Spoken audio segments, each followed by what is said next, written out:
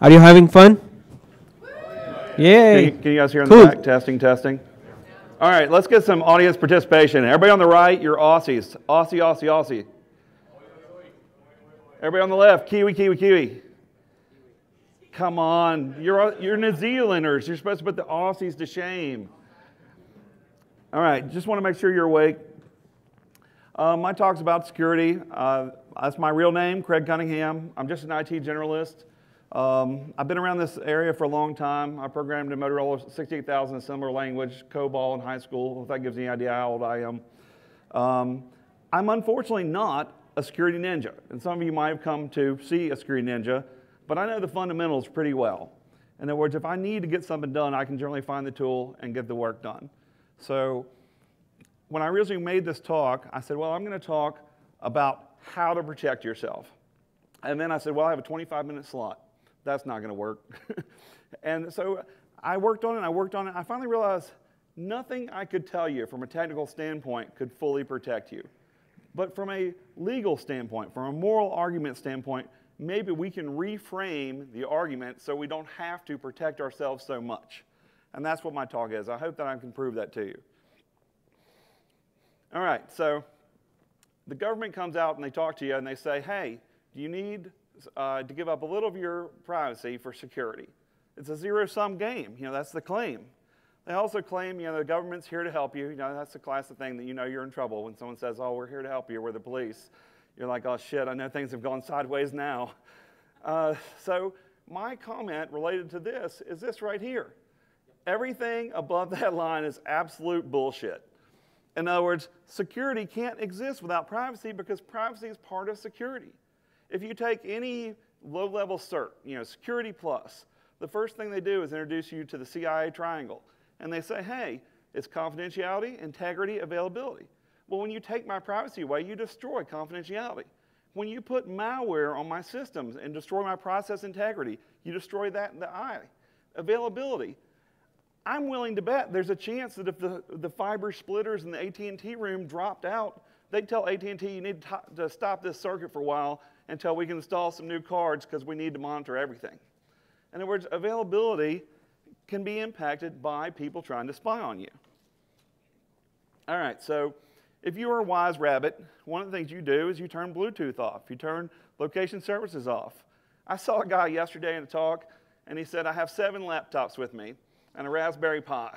He said, I wipe one completely after each day, and I download only the data to like some kind of SIM card to his Raspberry Pi. He's like, as long as they don't find the Raspberry Pi, I think I'm good. And I was like, man, that's, that's extreme. You know, like I'm not screwing around with that guy. Uh, I mean, I own a black phone too, and I'm not, I'm not near that guy. All right, so is the rabbit wise? That's the question. Well, the wolf thinks so. The fox, sorry. So th- there are predators out there, you know, whether they be government people abusing their power, whether they be nation states, hackers, they want to steal your information. You know, they want they want to use your PC. You know, Krebs on security does these things. You know, the value of a hacked PC, the value of a hacked email account. Um, this predator is out there, and you should know it. During, I saw something on television last night, and it changed my thought on this talk right here. It was about the St. Valentine's Day massacre. And what that was is they went in and dressed as police officers to all these gang members, and they got them to line up against the wall, and then they killed them all. Well, would those guys have lined up against the wall if the competing gang had come in? Hell no. They were taught you have to respond this way to the government.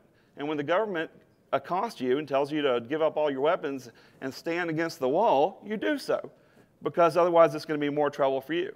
Well, in that case, they all end up dead because they made no effort to protect themselves. They were under the assumption, like in V for Vendetta, you know, the fingermen pull her aside, you know, she has no power. They have total power, therefore they tend to abuse it. All right, so let's say I am the rabbit and I start using some anonymization tools to protect my data from being captured. Well, I get on a special list. This guy uses Tor. This guy uses VPN. Uh, he encrypts data. In 2013, I traveled across the Canadian border and I looked up all the restrictions that might relate to me.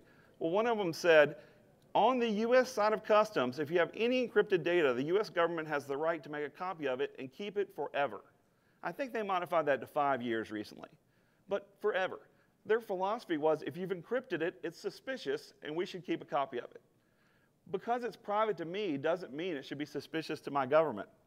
But we've got lots of government programs. Bullrun, that's all about making sure that we have back doors. We have a way into your system. Once we have a way in our system, we gather all data possible. Keyscore.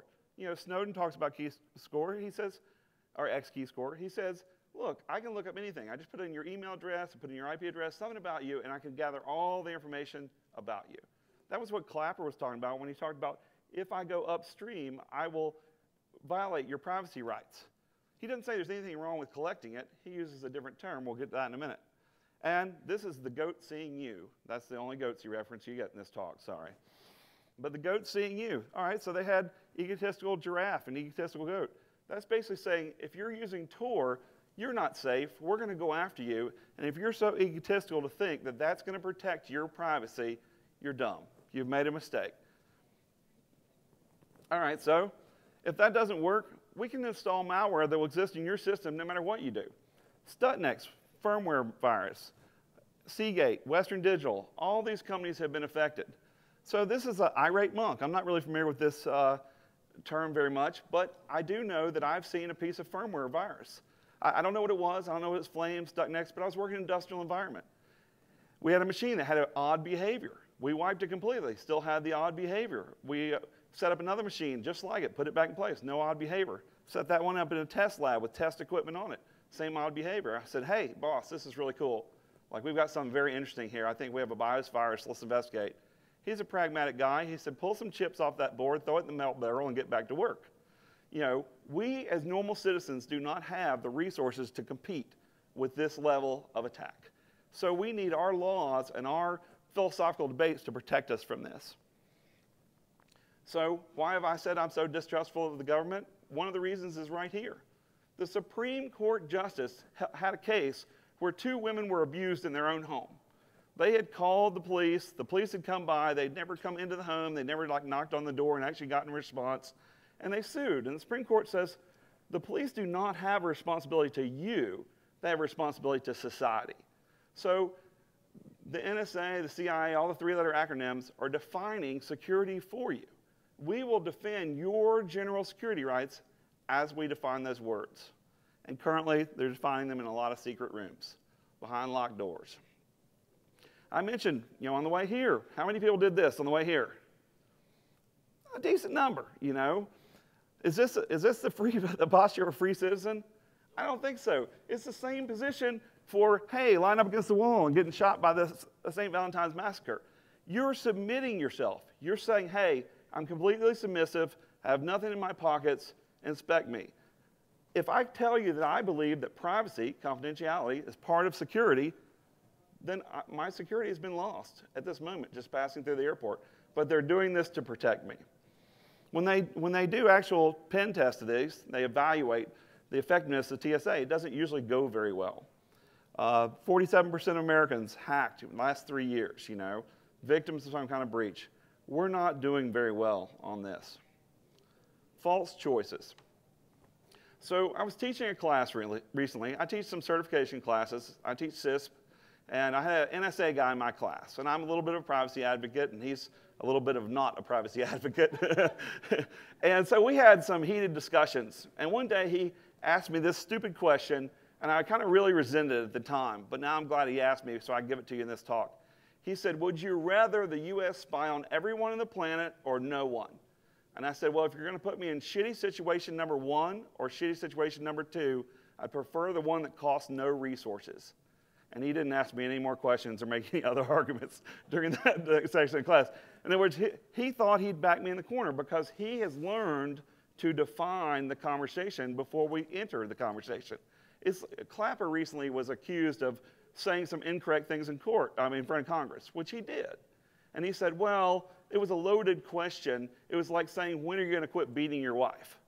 Well, they do that. The government does that to us all the time.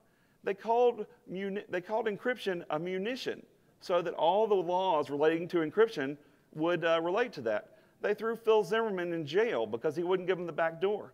When he wrote PGP, they said, Give us the back door, give us the back door key. And he said, There is none.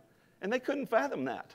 In other words, they're, like, no one writes encryption without giving themselves a back door. He's like, no, really, there's no back door. They said, well, you will put out an update and you will put a back door in the update. And he said, no. And they said, well, we have this really comfy prison cell. Why don't you sit in it for a while and see if you change your mind? This is the U.S. government, what we have done. I believe that privacy is part of security. The UN agrees with me. The metadata argument, it comes up all the time. Oh, we're not listening to your conversations. We might have them, but we're mainly concerned about your metadata.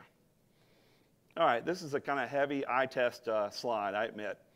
But even when psychologists are talking about what you need as a human being, they start off with your physical needs. I, I do like the fact that they include sex, food, water, shelter, and sex. I mean, if they threw alcohol up in there, you know, I, I'd be great. All right, and then they say your security needs needs for control over your own environment, order, a safe place, financial security. All right, people check your bank records.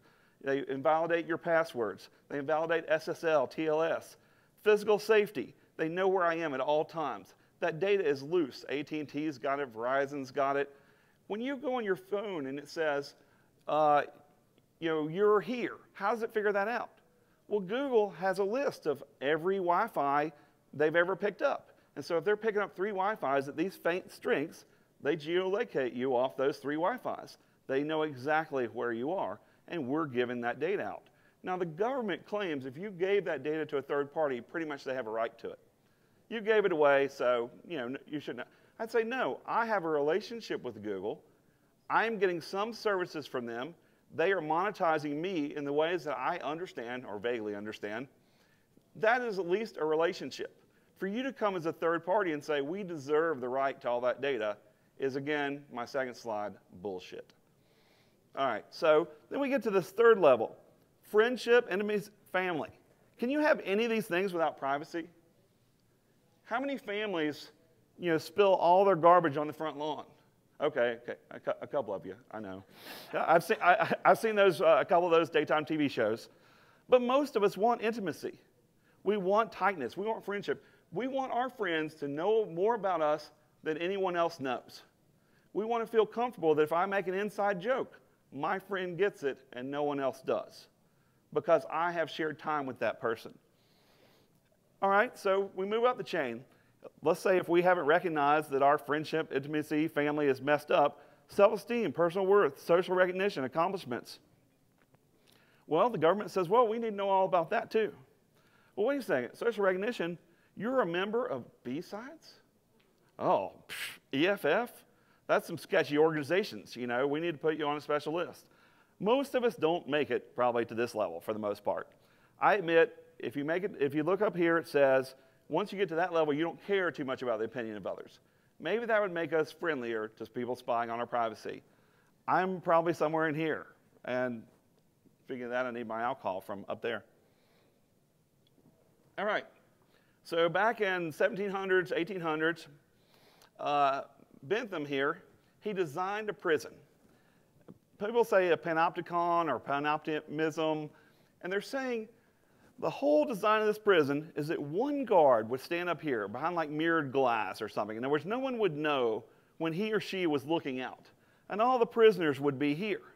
So every prisoner would say, have to say, I may not be being watched, but I could be being watched right now. Therefore, I will alter you know, what I do. That was the whole idea of this. He said, a new mode of uh, obtaining power of the, mind, uh, of the mind over the mind in a quantity here without example. He is claiming this is a better idea to manipulate people's minds than has ever been around before. Well, this was a prison. This was for milling, grinding people down mentally. And we are asked to accept that the NSA will take all our data and watch us at all times. Well, this right here, a short review for a declaration. Most of you probably already knew this if you read Glenn, uh, uh, Greenwald's book, stuff like this, but you might not know about this. The same guy who designed this prison, when we had the U.S. Declaration of Independence, he wrote a short review mocking it, mocking the view of our style of government, that we could have a democracy, that we could be separate from them, that we thought normal people, you know, had a, a reasonable say. In other words, this is a guy who was so against our way of life you know, he was an elite. Elites should be able to do what they want with the serfs. All right, Heisenberg's principle, most of you realize or think of that meaning if you watch something, you change it. Technically, it's the uncertainty principle. I figured someone might scream at me if I didn't point that out. But we say if we look at a system, we change it. Quantum cryptography works this way. If I pass data from, from Alice to Bob, and anyone intercepts it, Evil Eve even looks at those photons, we can tell. So we we can tell if someone looked at something. We are using this principle to guard ourselves with the type of quantum computing that we know we have now. If the NSA's got something fancier, you know, don't tell me because I don't want to be black bagged. All right, uh, Feynman. Feynman said, hey, no, this is not so true. And Feynman was a genius, or my opinion. All right, he said, nature doesn't give a damn whether you're looking or not. Well, I assure you, there's been many studies that I cannot cover in this 25 minutes that I can assure you that most of us act differently when we're being watched. If we're being recorded, we act a lot differently. All right, cost of securities. All right, some of you see this and they say, all right, I can understand the First, uh, you know, First Amendment, right to speech, right to associate. In other words, if I'm tracking everyone you associate with, I'm looking at the metadata of what cell phone was in that bar when Greg was in there. You know, what cell phone was in that bar when Craig was in there? Oh, they were in there together once per month. What other cell phones? We think they're nefarious characters. All right, Second Amendment. How's that related? We currently have the right to guns, or at least some people believe so. Well, the Supreme Court has ruled that there can't be a registry of that. In other words, they cannot demand to register those things. Well, if you have all information, you violate the second. What's the Third Amendment? Anyone know? Not very much talked about anymore. It said we can't put a soldier in your house. Well, they weren't so concerned about feeding the soldier. They were concerned about that soldier having some administrative control or violating their privacy at all times. If I want to control my subjects, I put soldiers in all their homes who watch what they do and report in. Well, what the hell's malware on my router? It's a soldier in my home. Who's paying the electricity to run him? I am. Who's paying the air conditioning to, to cool that? I am. They're putting someone watching me in my home. I, we, if we're going to fight for privacy, we can't only fight on the Fourth Amendment that says we should be secure in our papers and our homes and ourselves. We have to use every amendment we have because they're going to use every secret ruling they have. The Ninth Amendment. The Ninth Amendment says there are inalienable rights that are not defined in the Constitution. In other words, it is not, we are not wise enough men, at that time they were all men, to put in everything we should enumerate that is an inalienable right.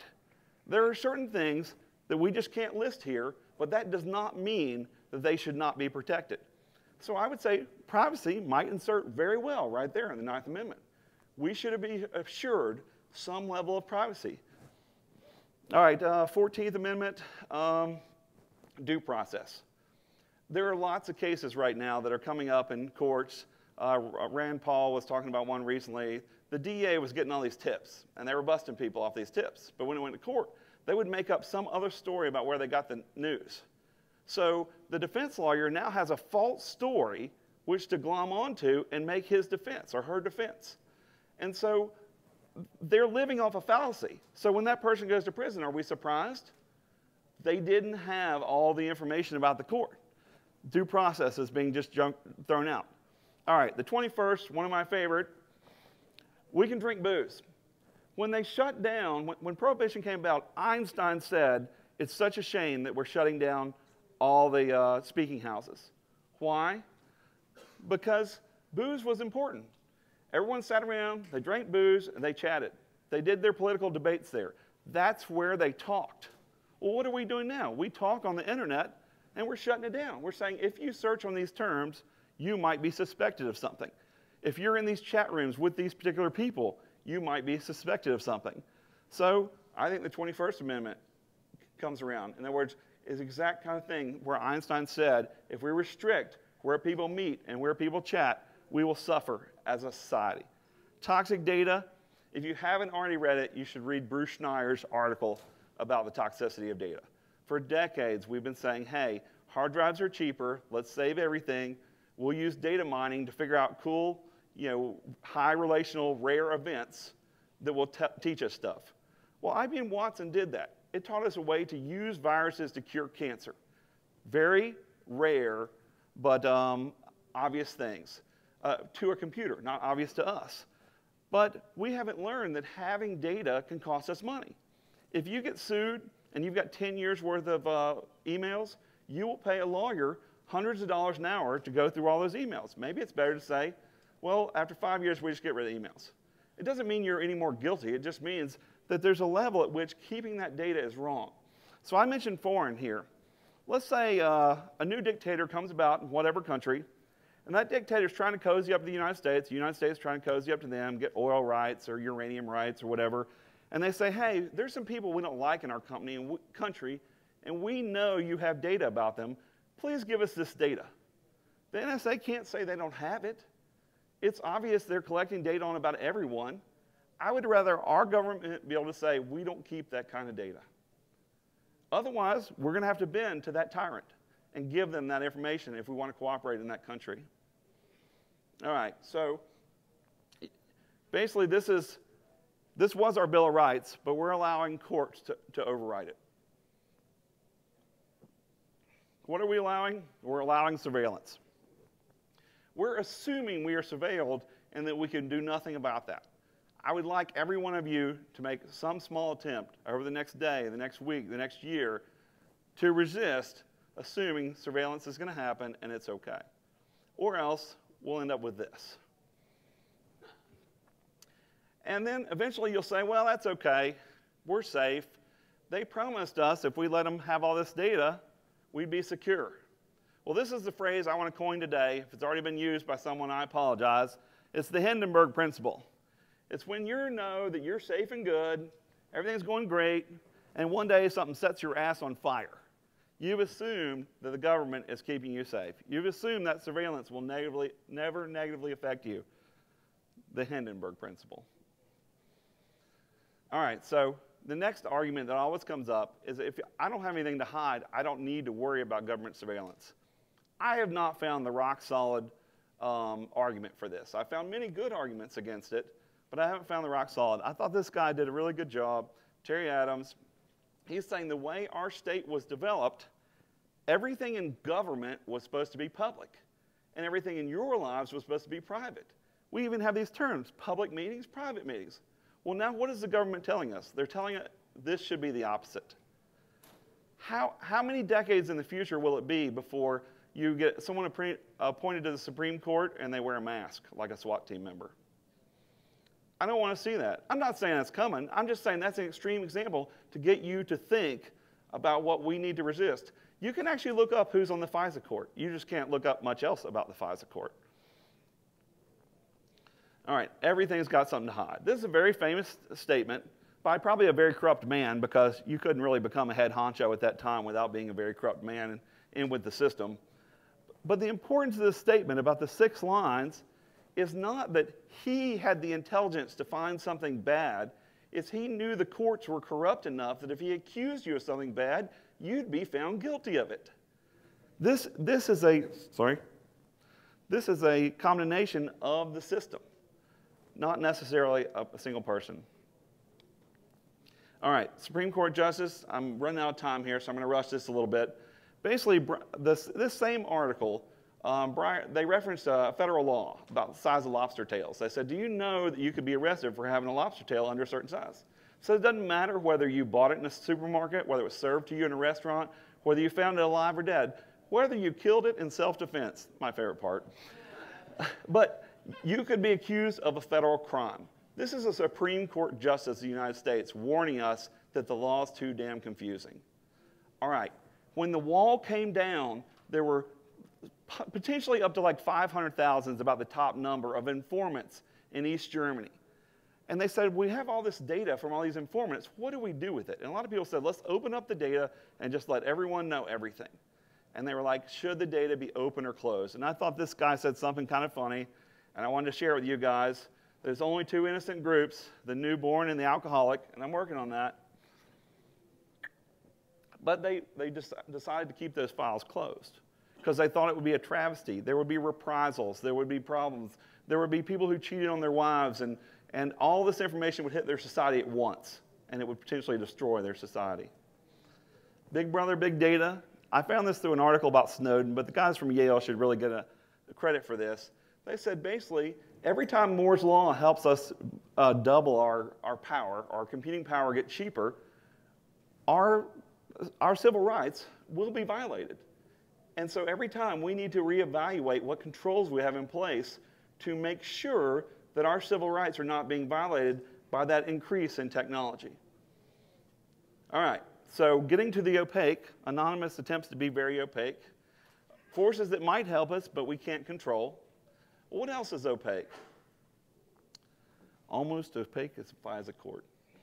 I am not suicidal. Just for the reference, just anyone knows, like to put that out there. I mentioned uh, in another talk I went to this week, I said, hey, if you went around talking like uh, Thomas Jefferson, they'd lock you up. You'd definitely get on a list. Well, this is the stamp from his, uh, his statement, but this is the full statement, and that's on the memorial.